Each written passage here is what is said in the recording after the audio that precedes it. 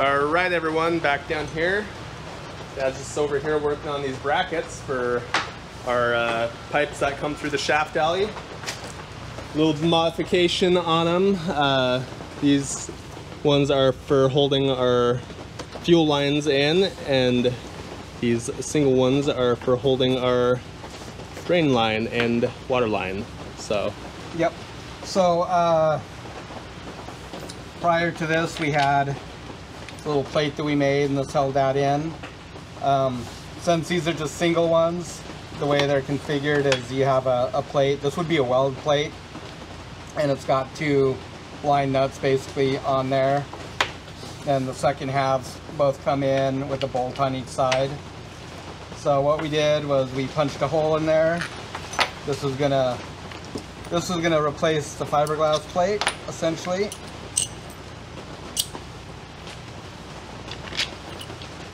Bolt in like that with our pipes, and then we'll come back in with our other plate like that to hold our uh, water pipe. So and then these bolts go in the sides like that into this friction welded uh, little uh, thread socket.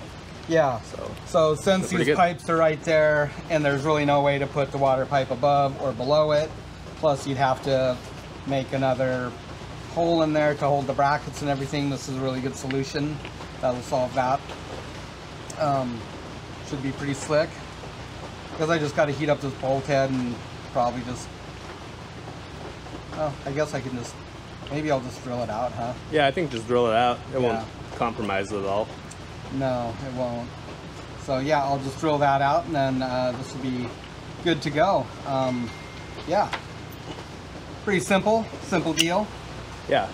So Dad's been working on that. That's kind of the next thing for forward progress on our shaft alley here. He got the ends of the fuel lines welded back on. And yesterday we got the holes drilled out for our plates that go against the aft bulkhead there.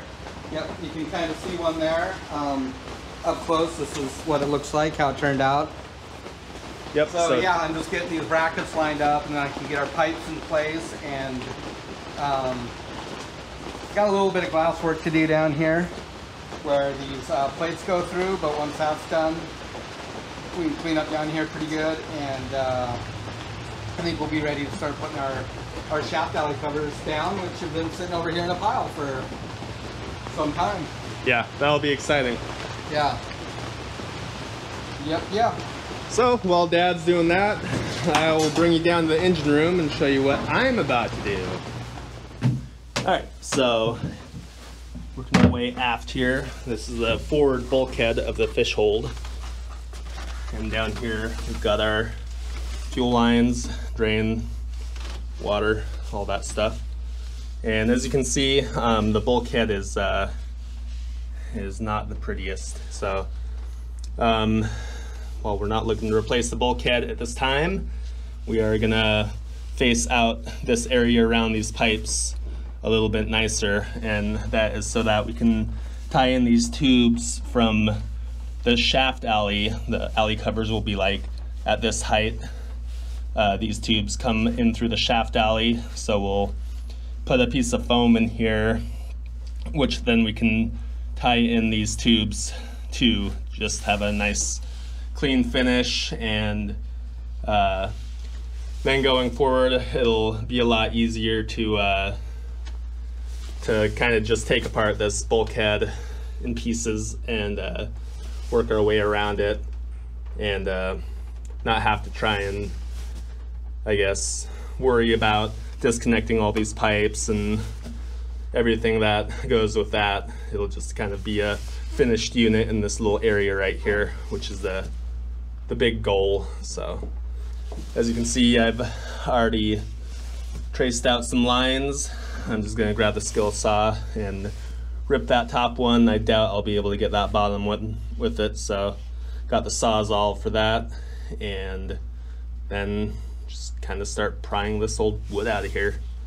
It's all oil soaked from years of grease and and uh, messy engine room. So try and get that out of there.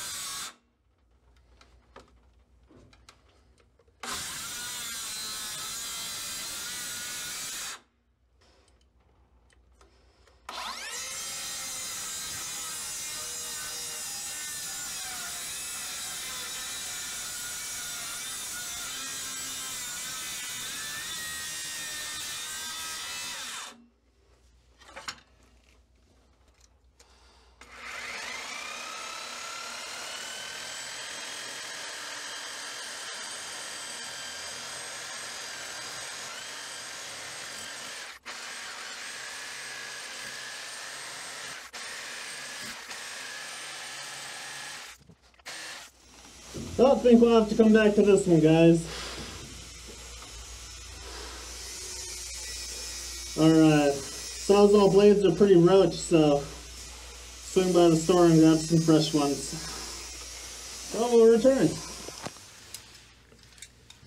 All right, got a fresh new blade. This one's pretty hammered. It's a lot of teeth. Wouldn't do much cutting, I don't think.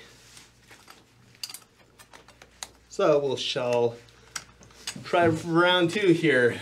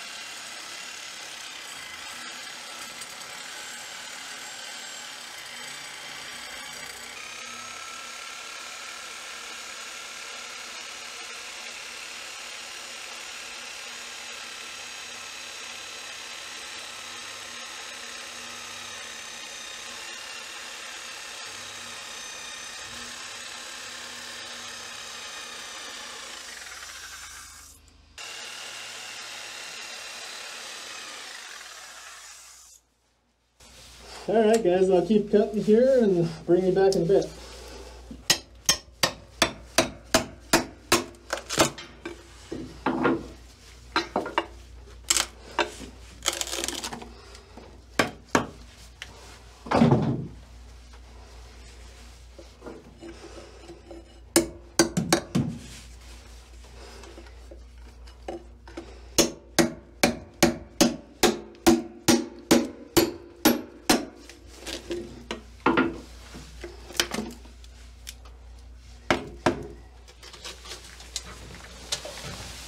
Come up to like nine and a half. Nine and a half. All right. So I got that uh, wood busted out, guys. Uh, that's just doing a cleanup pass on the top of it. Kind of got a little crooked on my line. But it came out good. The chunks broke out easy this time. It's always advisable to save this till you got everything else done. You come in here and do it. no, honestly, we didn't really know exactly what we were doing here at the time, so sometimes it's better to ease into things a little bit. We were hesitant to cut this out and open up a big can of worms, so really all we're doing is just um, isolating these these tubes and the tube that goes around our shaft alley, and then the rest of the stuff can be removed at a later date if and when we get there. All right, guys, so Dad's got his chunk of foam here. Took it down below and put it against those tubes coming through and uh, hit them a little bit to create a little indentation there. You can kind of see, see the mark and just went off the middle of them. Putting a couple-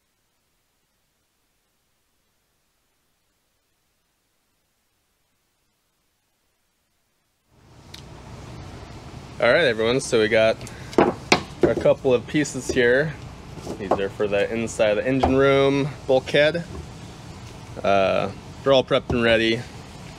Just threw a light coat of resin on them to seal up the foam since it's not going to be something we, uh, I guess, laminate with anything. It's just going to be getting glued against the bulkhead like that with kind of exposed edges. Not really much we can do with it right now, not until we actually replace the bulkhead itself. So that'll at least close the close those cells of the foam and make it a little less uh, I guess absorbative if that's even a word but so we did that yesterday we also made a couple of little um, pads these are for the uh, for the pipe holders So those go into the stringer down the fish hold. We've done that before, shown that before, but our aft two over here uh, are too short for the pipes now, or uh, don't go back far enough to support the pipes rather. So I'll pass it down to Dad. He did some work down here yesterday. These fuel lines are too short now to um, get clamped. So uh, they'll actually go forward a little bit more and then that's going to leave us room for some tubing like this to come in and we'll put a couple of bends in it, match it up. So um, we'll just pull a line between this hole and the bracket back here, get the center line and mark it, and then we can install the new bracket. And uh, meanwhile, yesterday I got these pads in place, uh, these, I guess, these bulkhead fittings or whatever you want to call them. And so now I'm just going to clean up the faces right here. I, I just bedded these in to kind of a socket. Um, that always makes a really nice clean install instead of just having a plate flat against a bulkhead and that crack right there. Um, this is going to just like keep it nice and clean. Um, I'll just hit this with a grinder real quick or die grinder and knock off this these burrs right here and then we'll drive it out from the other side. And so we'll just get that cleaned up and then these can be um, basically just put in here permanently. We'll probably just put a small bead of some silicone or 5200 in there. And, uh, and that's gonna be that. Um, once those pieces are glued up forward on the engine room bulkhead, then we can get these pipes right here um, set in their exact position and then we'll go ahead and we'll take some tubing. We'll get it cut. This is just a piece of scrap I have. Um, it's not gonna have 90s on it. It'll have 45s so two 45s to bring us up the height that we need right there. And we'll get those uh, we'll get those cut. We'll get them bent get them flared and that stuff will all be ready to go. And the last thing will be to bend this tubing. Um, got a technique that we'll probably use. Uh, just involves heating up some sand and pouring it in there. And it makes it nice and soft and pliable. And then we can just put it in just a simple form. Um, just a couple of slats of wood or something in the uh, shape that we need. Same thing, kind of a 45, two 45s to get us uh, the rise and the heights that we need. Actually, in this case, it's going to be more like bringing it over and in. And so we'll get that, uh, that dimension figured out and we'll get those bent.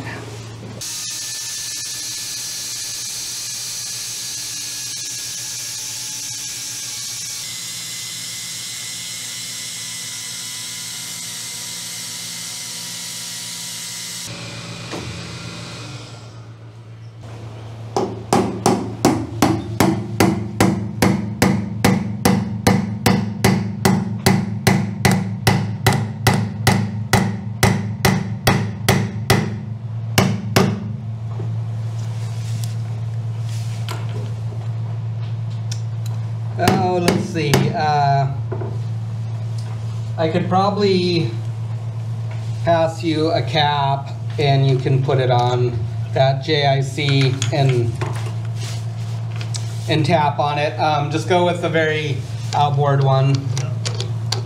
Got a little bit of separation on this inner edge, but that's okay. Nice, there it comes. Good. A little bit of separation there, no big deal. Just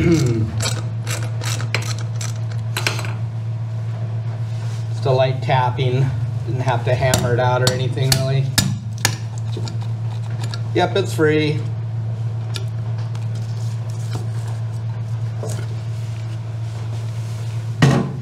All right. How's that?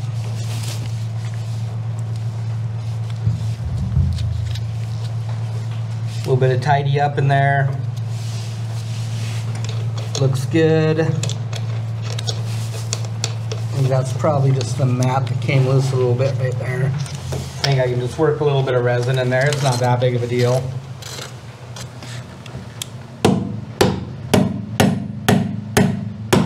Okay, hold it a sec.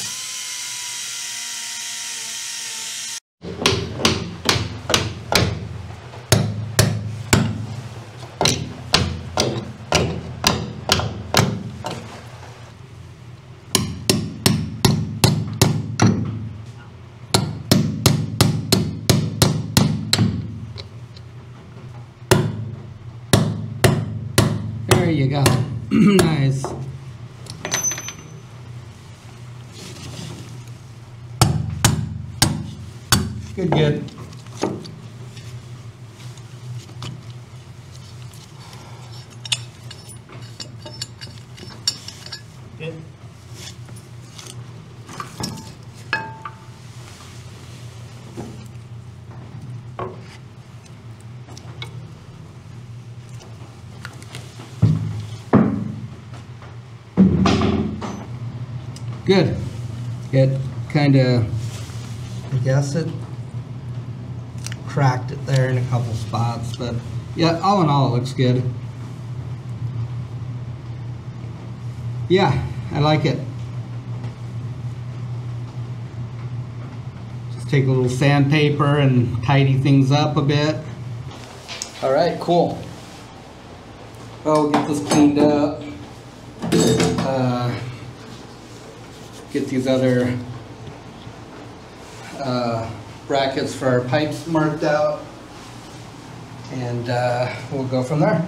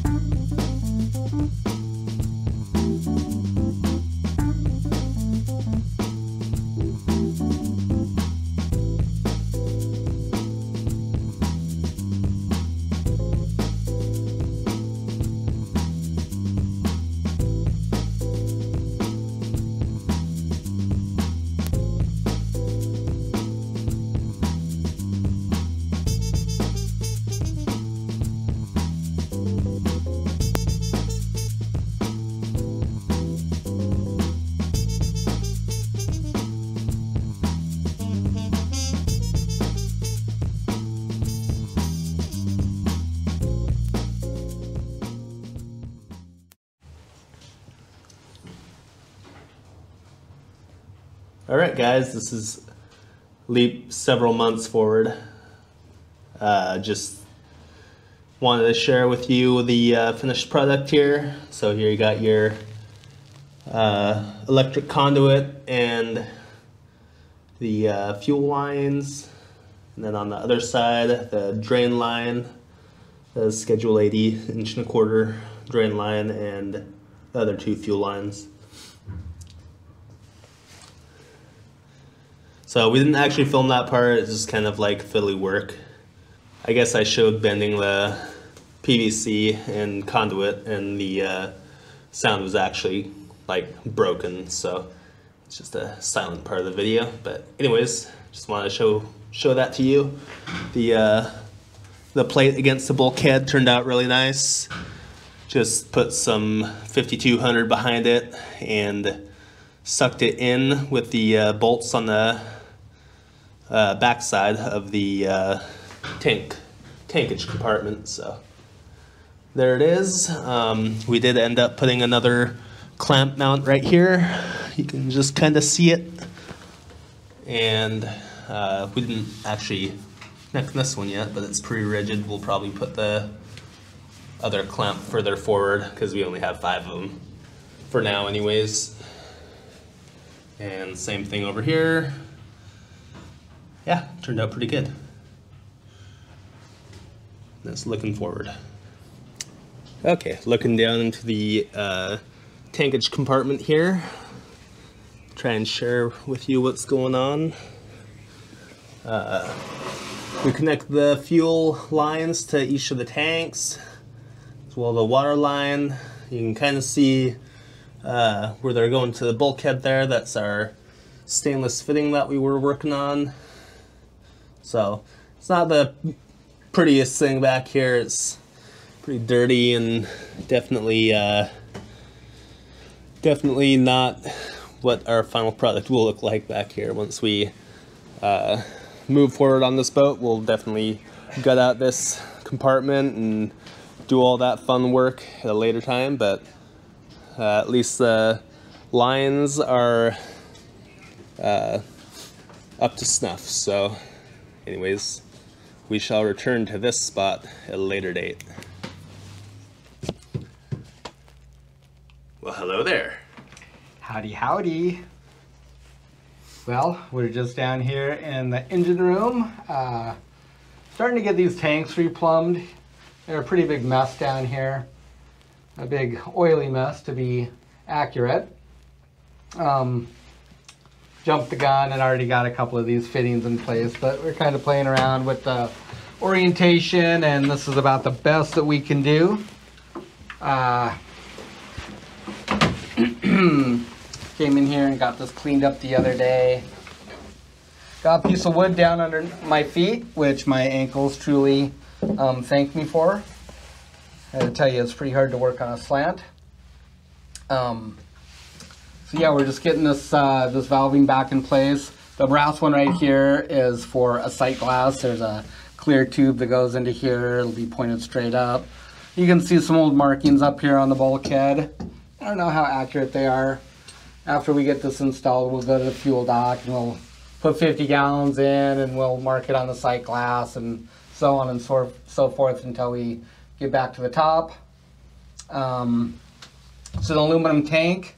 When you install fittings onto an aluminum tank, you never want to go with the brass into aluminum. That's uh, a very bad thing to do. You'll get a lot of corrosion. Um, always use a stainless bushing. It insulates the, the two different metals from each other and you won't have as much corrosion problems. And so that's what we have is just a stainless reducer here. And then we're going into a half inch T and our brass sight glass is here. And then we'll follow that up with half inch gate valve, um, excuse me, ball valve. Uh, so we already put some sealant on this. This is, uh, what is this stuff called anyways? It is uh, Vibratite, I think. Yeah, so this is Vibratite here. This is good stuff. Um, uh, who's the other? Loctite makes a, a similar product, and it's specifically for like hydraulic and fuel lines. Um, stainless steel. It's very good for stainless. Keeps from going up, and uh, creates a good seal that doesn't leak. So uh, let's see. I already have this fitting tight right here. I might just have to bring it here a little bit more. But I'm going to throw a wrench on this and rotate this one the rest of the way. And then we'll need to go up and we'll need to, uh, I guess, get a measurement here and cut that sight glass down and install it. It's just a compression fitting right here. So there's a, a rubber uh, it's like a really fat O-ring. It's not really a round O-ring. um, in terms of uh, of its profile. It's uh, it's more of a square, but it's in a round shape. So, uh, anyways, it's just like a big fat washer. Um, that goes in here. Compression fitting goes over it, and it tightens up around the clear sight glass tube. Has a valve on it because you don't want to leave these open. If that sight glass ever got hit by something and broke, it would dump your whole tank. So when you go to check your fuel level, you just simply open the valve. It'll adjust to the correct level, either go up or go down. And then when you're finished, you close that valve off and you leave it closed. And uh, yeah, that's about it. It's gonna be nice to start getting the stuff cleaned up down here. Um, it's a far cry than when we first got the boat. If you guys have seen that video, um, you'll know what I'm talking about. If not, go way back in the history of this playlist and you'll see. Uh, still got a little work up here to do. Um, I was just looking at this, pondering like, what's up with the spider web? Like, do they do it intentionally? Like, why didn't they run that hydraulic hose on the outside of the others? And why is that one over there when it could be over here? It's just a mess, right? Um, Anyone's guess. yeah. Maybe any- the hose was short. I don't know. Yeah. Oh gosh, it was such a mess in here before. Maybe that's all I could do. Um, okay, well, maybe I've reconsidered because I'm like, oh gosh, what if the like sight glass starts leaking, the stem on it or something? You have to drain the whole tank in order to repair it. Um, I probably overthink things too much, but I might change it to like that configuration. That still allows this valve to to turn right here. The lock actually works on that part, um, which is the open position. Not that it really matters, but closed position. Yeah, doesn't really change much. It puts the um, sight glass over a bit more, but it's up against the wall. It's going to be kind of hidden anyways. It'd be nice if it was a little tighter in here like that, but gosh, it's like a half dozen to another, so. So, we want this handle to be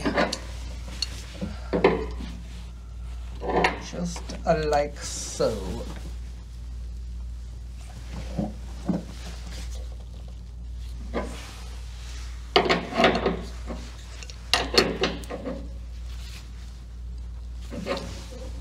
Looks pretty good.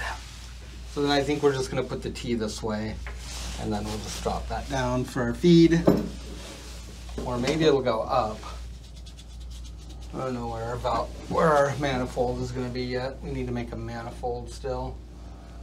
Um, hmm. Down, I suppose, huh? Probably down. Down, and we can loop it back up if need be. Put the crank on her. Yeah.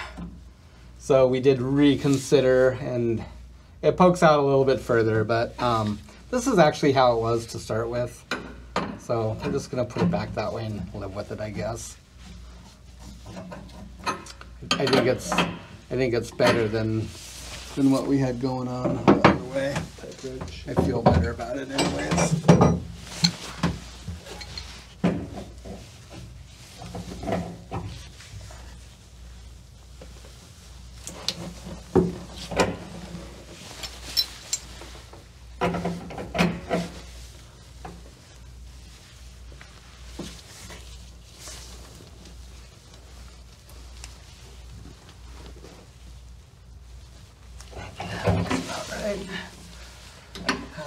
Do. Yeah, it pokes out there a mile, but that's where it's gonna be for now. I think our shorter term plan is to maybe eliminate whatever is in here, which I'm guessing is probably concrete, and drop this tank down, and that would allow us um, at least to lower a good portion of this tank. We might lose some volume, but then we could put machinery over the top of the tank and uh, and still have some fuel capacity up here. We'll see. We shall see.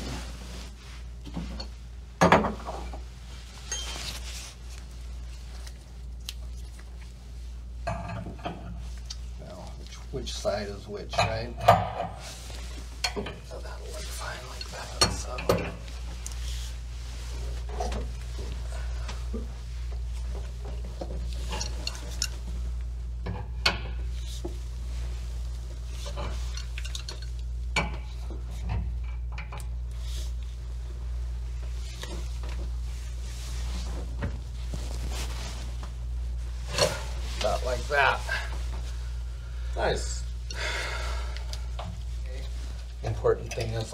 Valves open and close, which they do. And uh, yeah, that'll have to do for now. Really wasn't much else we could do other than like maybe throw a couple of 90s on here. Yeah.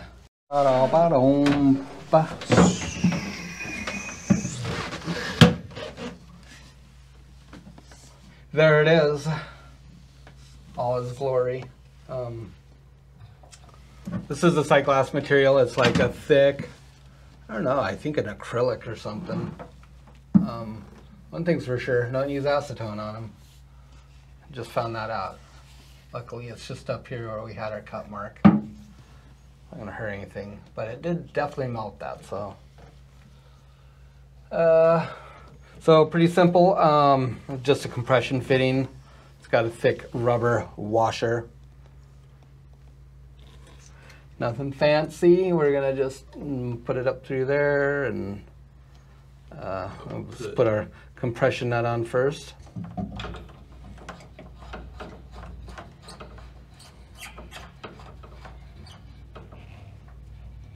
You want it in there enough that won't wiggle out somehow too though. Yeah. So I mean, it should be plenty good, I think. Yeah. Just got to get the um, the washer in there, but yeah, it looks like it went in there. Nice. Good, huh? Yeah, just a little bit of oil or something. I think so. Give it a little tiny dunk. There you go. Beautiful.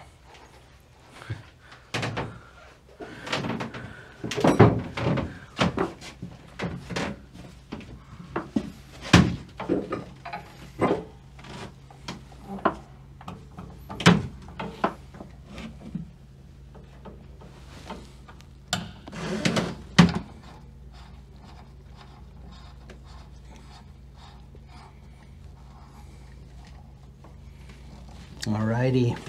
Nice. That'll do it. I'm just gonna snug this up a little bit. That's the wrong wrench. I think I've got my spanner.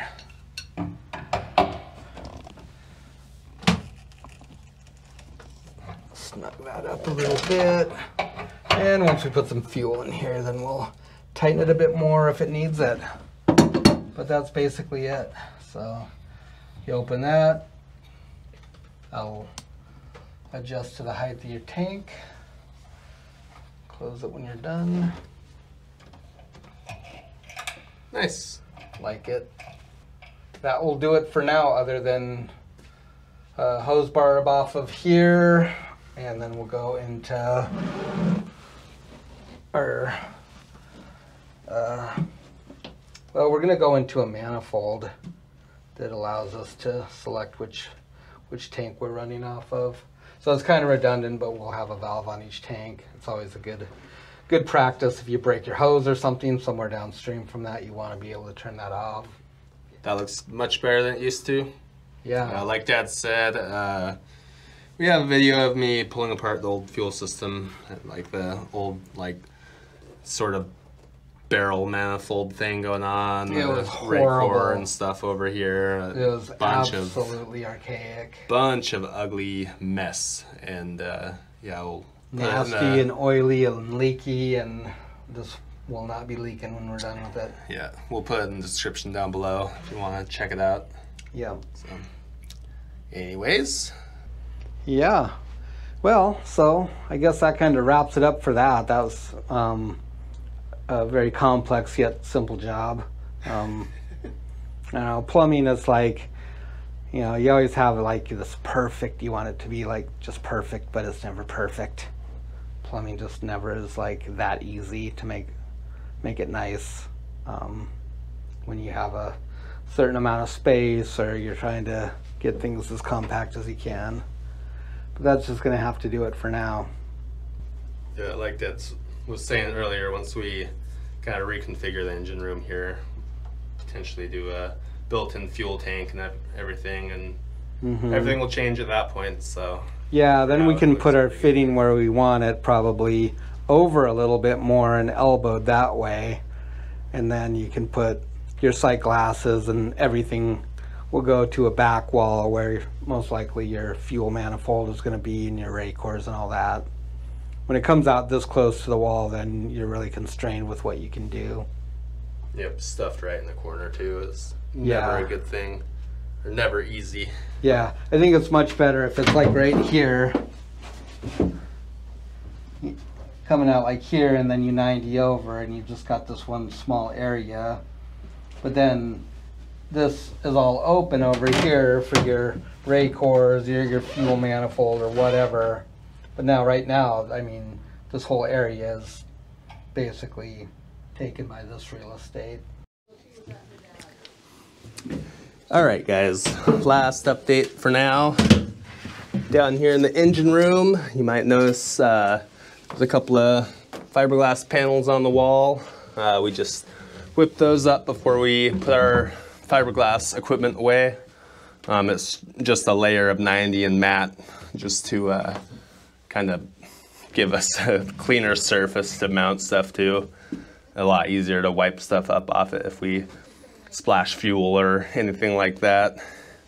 Um, we might paint them with gel coat if we uh, go and pick up a fresh can. I think we're all out of gel coat, so we'd have to go get a new can. But either way, it's a lot easier cleaning this off than than uh, plywood. So um, anyway, I just wanted to share with you the the uh, valve here. We did do one last final change. Um, not sure how it ended up before, but um, it, it came straight out into the valve, into T, into the sight glass, which ended up out around here. Um, Dad came back later, disconnected it all again, and ended up putting this uh, street elbow going down into the valve, into the T, and off the T with the uh, sight glass there, so it is uh, a lot better now. It's much lower, uh, much lower profile. Brought it in a lot more from where it was out here, and yeah, it looks really good now.